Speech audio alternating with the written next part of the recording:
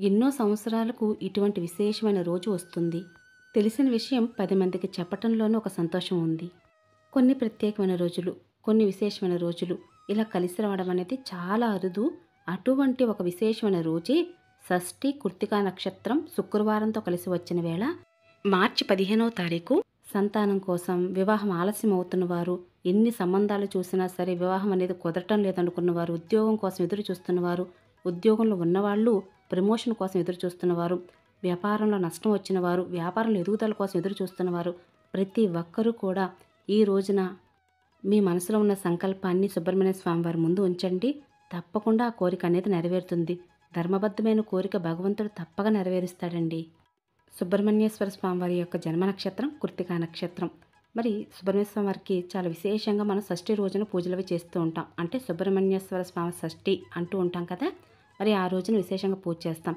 మరి జన్మ నక్షత్రము స్వామివారికి విశేషమైన పూజ చేసే షష్ఠి రెండు కలిసి వచ్చిన వేళ చాలా విశేషం అండి. ఇలా ఎన్నో సంవత్సరాలు కానీ అరుదుగా కలిసి వచ్చిన వేళ మనందరం కూడా ఎంతో భక్తి శ్రద్ధలతో శ్రీ వల్లీ దేవసేన సుబ్రహ్మణ్యేశ్వర స్వామివారికి చాలా విశేషంగా ఇంట్లోనే పూజ చేసుకోవచ్చు. ఇంట్లో పూజ చేయడం కుదరని వారు కనీసం గుడికైనా వెళ్ళి స్వామివారి దర్శనం చేసుకోండి. చాలా మంచిది.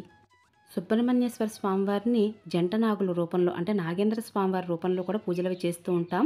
ఇలా పూజించినా కూడా స్వామివారి యొక్క కరుణాకటాక్షం తప్పక కలుగుతుంది. మనలో చాలామందికి ఇలా గుడికి వెళ్ళి పూజ చేయడం కుదరకపోవచ్చు. కాబట్టి ఇంట్లోని ఏ విధంగా సుబ్రహ్మణ్యేశ్వర స్వామివారి పూజను ఎలా చేసుకోవాలనే విషయాన్ని ఇప్పుడు మీ అందరికి షేర్ చేయబోతున్నానండి. పూజా విధానం ఎక్కడ స్కిప్ చేయకుండా చివరి వరకు చూడడానికి ప్రయత్నించండి. చాలా సులభంగా ఇంట్లో ఉన్న వాటితోనే సుబ్రహ్మణ్యేశ్వర స్వామివారిని చక్కగా పూజ అది చేసుకోవచ్చండి. సుబ్రహ్మణ్యేశ్వర స్వామివారి యొక్క చిత్రపటము అలాగే ఎర్రటి ఒత్తులు ఎర్రటి అక్షింతలు అలాగే పిండి దీపారాధన ఎర్రటి పువ్వులతో పూజించటం. ఇవేనండి చాలా సులువు అనమాట చాలా సులభంగా స్వామివారి పూజను అయితే చేసుకోవచ్చు. ఏంటి ఈ రోజే సుబ్రహ్మణ్యేశ్వర స్వామివారికి పూజ చేయాలా? మంగళవారంతో కూడిన సుబ్రహ్మణ్యేశ్వర స్వామివారి పూజను కూడా చేసుకోవచ్చు కదా? చాలా విశేషము అనవచ్చండి. మనకి ఎలా అయితే పుట్టినరోజులు పెళ్ళి రోజులు చాలా విశేషమైన రోజులు సంవత్సరంలో కొన్ని రోజులు మాత్రం ముఖ్యమైనవి ఉంటాయో అలాగే స్వామివారికి మనం పూజ చేసేటప్పుడు కూడా కొన్ని విశేషమైన పర్వదినాలు ఉంటాయండి. ఆ రోజుల్లో కనుక స్వామివారిని పూజించడం వల్ల మీరు అనుకున్న సంకల్పం త్వరగా నెరవేరుతుంది. స్వామివారి యొక్క అనుగ్రహం తప్పక కలుగుతుంది. అందరికీ నమస్కారం అండి. అందరూ ఎలా ఉన్నారు? బాగున్నారా? నేను బాగున్నాను. మీరు ఇంకా బాగుండాలని మనస్ఫూర్తిగా కోరుకుంటున్నాను. ఈరోజు సుబ్రహ్మణ్యేశ్వర స్వామివారి యొక్క పూజను ఎలా చేయాలనే విషయం ఇప్పుడు తెలుసుకుందాం. పాటించవలసిన నియమాలు పూజ విధి విధానం గురించి పూర్తి వివరాలతో మీకు ఈరోజు పూజా విధానం అయితే చెప్పడం జరుగుతుంది.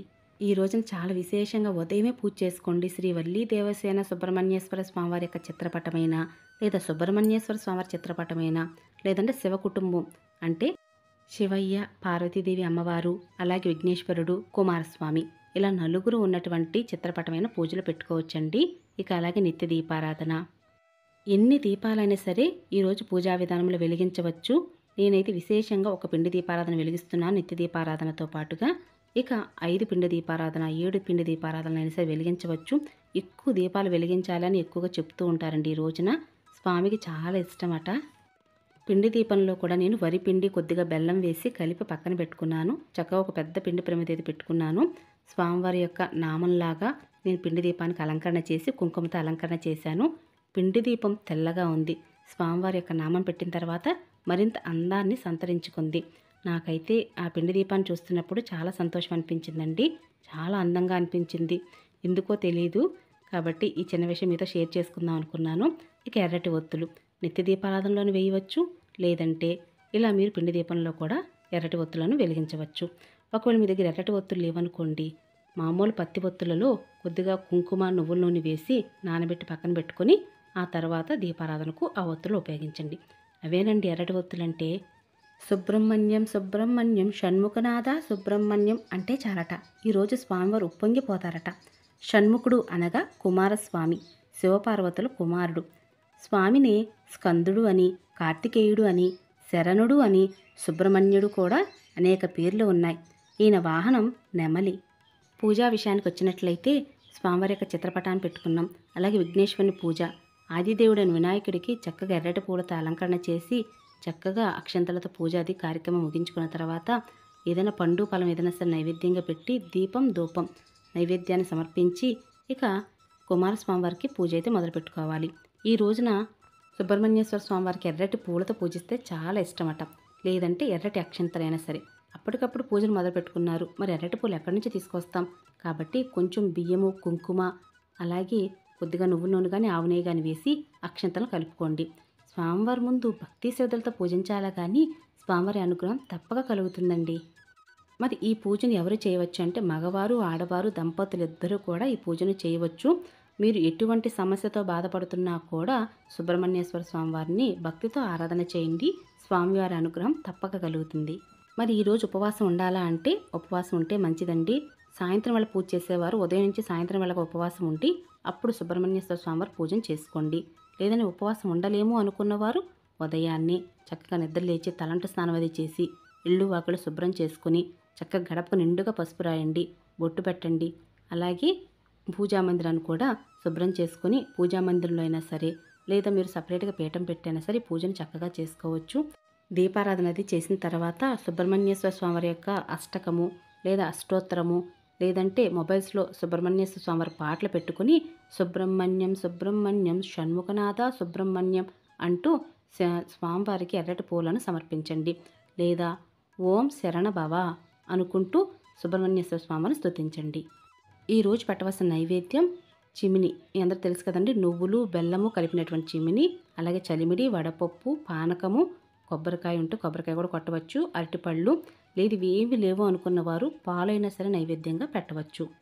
మాకు ఇంట్లో పూజ చేయడం కుదరదండి. మేము గుడికి వెళ్ళి పూజ చేసుకుంటాం అనుకున్న వారైనా సరే చక్కగా గుడికి కూడా వెళ్ళి పూజ అది చేసుకోవచ్చు పూజా కార్యక్రమంలో పాల్గొనవచ్చు. అలాగే నాగేంద్ర రూపంలో ఉన్న సుబ్రహ్మణ్య స్వామివారిని కూడా ఈ రోజున ఆరాధన చేయవచ్చు. ఈ రోజున సుబ్రహ్మణ్యేశ్వర స్వామివారి రూపంలో ఉన్న స్వామివారిని అయినా సరే నాగేంద్ర రూపంలో ఉన్నటువంటి సుబ్రహ్మణ్యేశ్వర స్వామివారిని పూజించినా కూడా స్వామివారు ఎంతో తృప్తి చెందుతారు. కాబట్టి మీరు భక్తి శ్రద్ధలతో పూజించడం ఒక్కటే నియమంగా పెట్టుకోండి. ఎలా పూజ చేస్తున్నాం? ఏ విధంగా పూజ చేస్తున్నాం? ఎవరైనా చూస్తున్నారా లేదా? ఇటువంటివన్నీ కూడా మనసులోకి అసలు దరిచేరనివ్వద్దు.